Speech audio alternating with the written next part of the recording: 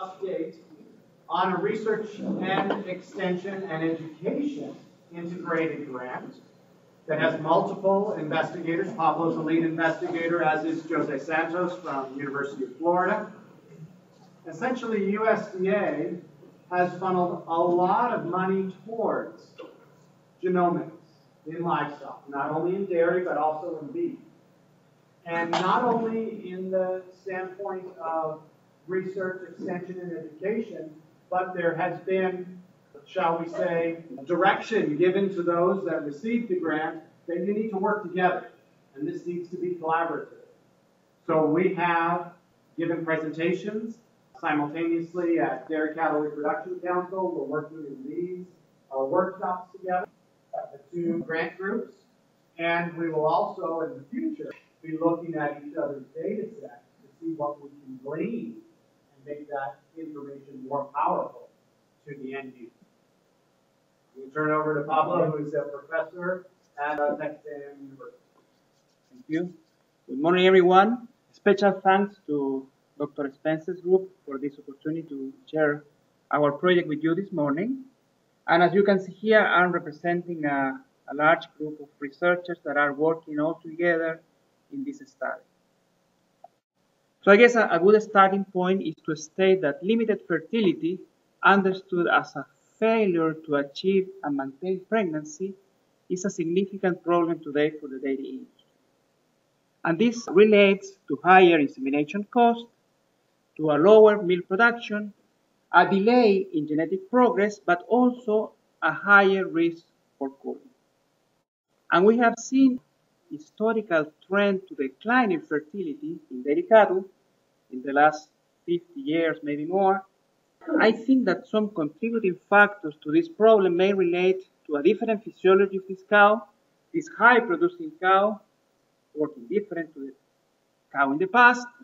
Also, this is making more difficult to reach a nutritional balance all the way in the lactation. We also have some changes in the herd size, also in facilities.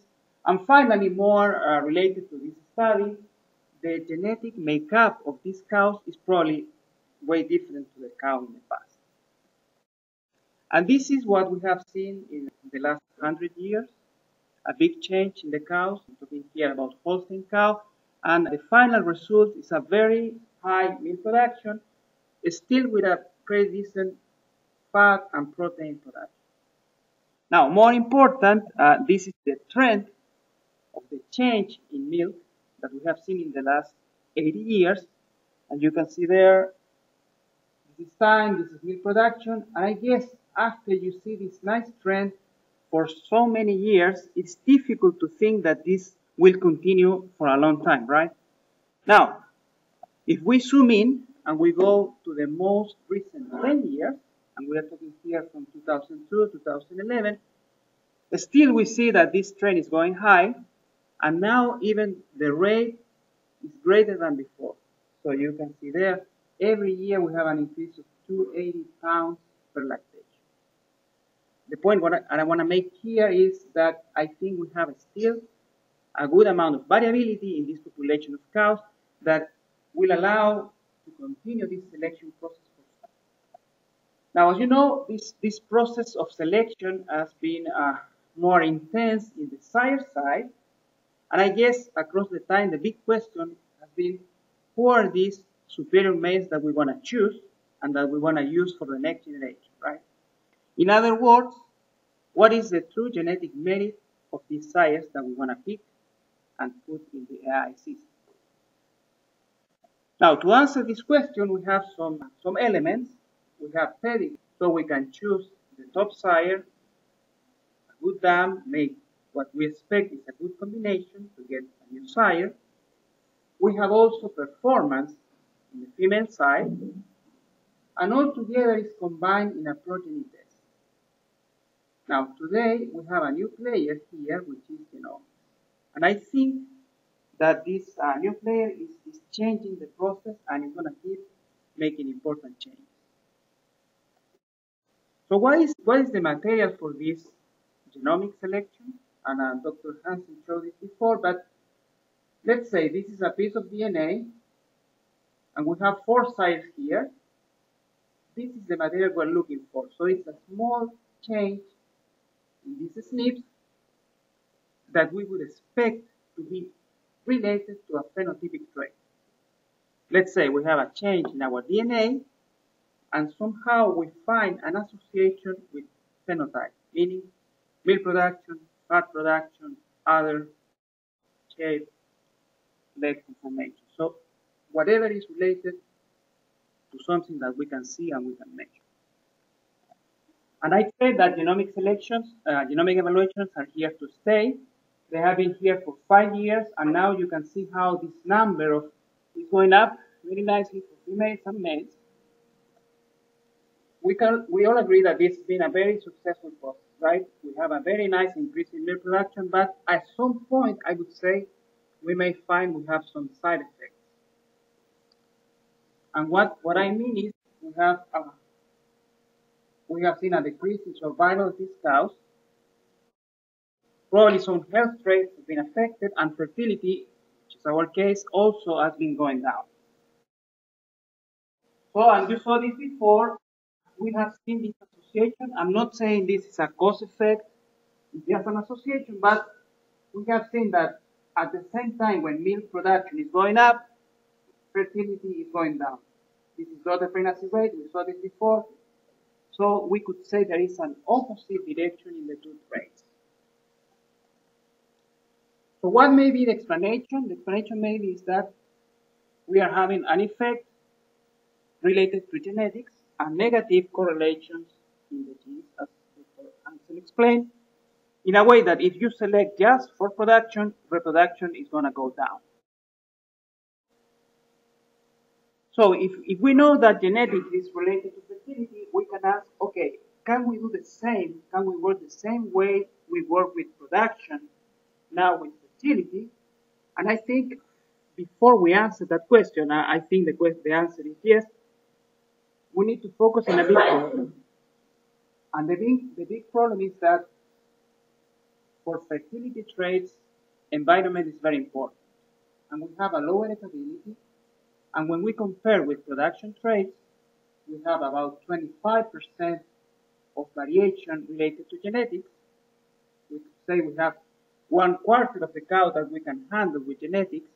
Now, when we work with health with fertility, we only go with one trait. So the amount of material we have to make changes for the next generation is a lot lower Now, in spite of this uh, negative point, we have some good news, and that is that the evolution of some reproductive parameters in the recent years is improving.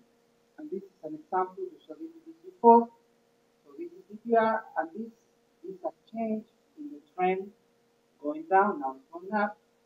And what is more important for this study is that this happened right after the trade DPR was included in the science that means if we select DPR, we can make a change. Some other positive uh, events, calving interval is going down, conception rate now is stable. And also, as you saw before, even with this negative correlation between production and fertility, we will find some individuals that have both a good reproduction uh, potential and a good productivity. And this is, is a chart showing a good number of sires, AI sires, classified by ESPPA and also by DPR. So you will see we have a good number of sires that are going to be high in DPR and are going to be high in DPR. And this is the same when we go to Net Merit and DPR. Still, we could find this population of specific sires where you will combine good reproduction and good production. Having all this in mind, we decide to go with this study that is a study funded by NIFA. We are now in the second year, and what we are trying to do is work with genomic selection to improve fertility, and we are emphasizing in cyclicity and pregnancy. So this is our group. We are working with seven universities, 12 researchers, and we go all the way from expertise in reproduction, extension, bioinformatics, genomics, and economics. So it's, it's, a, it's a nice combination of, of people working together. So our, our first objective is to use these new molecular technologies that are getting available and are getting in a lower cost to try to improve these fertility traits by genomic selection. So what, what are we doing? Which, which is our first uh, specific objective? We are trying to build a fertility database combining genotypes, so in this side, with phenotypes that are going to be based in measures of fertility in Holstein cows. So what's the idea? We're following a good number of cows, checking for all these phenotypes related to fertility, and then reading the genes in these cows to have the potential association. What is making the group to decide to go with this trait? Well, the idea is to follow what we think is affecting fertility, and we know probably related to these four factors, delay return to estrus cyclicity after calving, limited estrus, estrus expression, reduced fertilization, and pregnancy loss. Now, when we have all these phenotypes and we read these cows, we are going to try to find these SNPs, so these points in the genome of these cows, that may be related to fertility. And the final goal is to build a model where we can estimate breeding values. That means the same you get in the SciAP proof, a PTA value for fertility or for different traits related to reproduction. At the same time, we go with an extension, an education component, and the idea of provide what, what we find to the dairy industry, but also trying to educate the students in animal health, reproduction, and genetics. This is our approach. We are following 12,000 cows in seven states, in a number of farms in each of these states, and also working in the cool and hot season. Now this is already done. We have followed these 12,000 cows. And this is what we are measuring. So we are looking for uterine health, checking for metritis, endometritis. Then we are checking for resumption of ovulation after calving, some metabolic disease, subclinical ketosis, retention of estrus, body condition score, lameness, so everything that may be affecting this fertility in this group of cows. Very important, we are looking for pregnancy at the first and second AI, but also maintenance of pregnancy. So we check the cows early after breeding, and then we check again so we know who is losing the embryo. Of course, together with all this, we have production data, health events, and this is a summary of what we have been doing, and we went from cows that were enrolled calving, and we follow the cows all the way to pregnancy confirmed at 60 days. So you could you could guess that the big challenge here is do all this with group with big group of cows trying to find the same cow every time. So it's very challenging.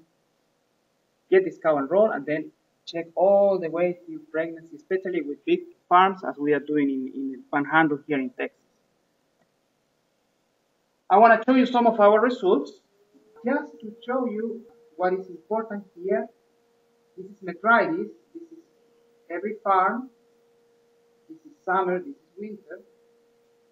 And what I think is, is the relevant point here is that we have been finding a good level of variation. You see, we have uh, values from 7% to 47%. Now for clinical endometritis, all the way from 8 to 43%. What we want to do is to compare cows within farm. No, we go and do it at 7 days for metritis, then we go at 28, 32 days for clinical endometritis. Cyclicity, again, we have some variation, but it may be close to 60, 65, 70%. Subclinical ketosis, a big change from 2 to 47%. The important ones, pregnancy at first AI, probably close to 40%. Pregnancy loss, very variable, 2% to 80 Now, when we have all these values, and we have them now, we want to rank our cows. So what, what's the idea? We want to have the top fertility cow and the low fertility cow. And how are we thinking we're going to do this? We, we want to build a reproductive index. This is our index, which is a predicted probability for the cow to get pregnant after 2 AI. So what, what is good about this? You will have one number for each cow. So it's very simple to rank cows from the bottom to the top. And we, we expect to have something like this. We have some values already with the index, and it's, the distribution is very nice. We have a normal distribution here. And what is more important, I think, this is the reproductive index by, by quartiles, 25%, 50, 75, 100%. And this is the probability for the cow to get pregnant after two AIs.